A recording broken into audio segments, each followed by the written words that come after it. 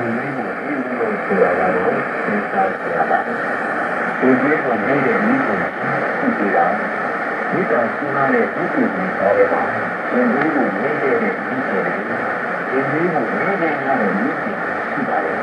အခက်အခဲဒုက္ခမျိုးမျိုးကြောင့်ဒီလိုမျိုးပြဿနာများကြောင့်ထို့တော်မိကိုဒီလိုလိုက်ပြီးအားလုံးဆက်နေတယ်ဒီကဘာအပေးမ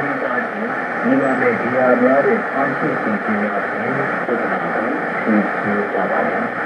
အချို့ကြတော့ဆက်ကအလုပ်လုပ်ရတော့မအောင်မြင်တဲ့ဖြစ်ကလေးကိုအထိန်နဲ့အားကြတယ်။မိုးရေမိုးချုပ်အလုပ်လုပ်ရရင်ကလေးနဲ့တော့ပြုလို့ရတယ်။တချို့မိခင်တွေကြတော့လေကျောင်းသားတွေကတော့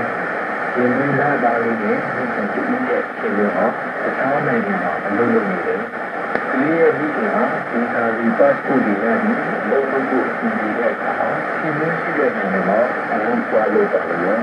ကလေးတို့အဖောင်းနဲ့ထားခဲ့တယ်။ဒီလိုကြောင့်လူတော်ချင်းရင်းနေကြတော့အချိန်မတိုင်လေးပါဒီကြည့်လို့ရင်တော့ကြုံရတော့လေလူမျိုးရဲ့မျိုးဟုတ်တာအောက်ဆုံးကြတာပါလေ။အခါကြီးမှာမတတ်နိုင်ကြတော့လူကြီးကူတာအချင်းချင်းတူချင်လာပါတယ်။ဒါဟာယဉ်ကျေးမှုအနာဂတ်အတွက်အရေးကြီးပါတယ်။ ဒီလိုမျိုးရင်ကိုတော့ပုံနေဒီကရတဲ့ကလေးရဲ့ကျမ်းမာရေးစံဆောင်မှုဝန်ကြီးဖြစ်နေတဲ့ကိုယ်တိုင်တရားဆိုင်ရာအဖြစ်တင်ရမယ်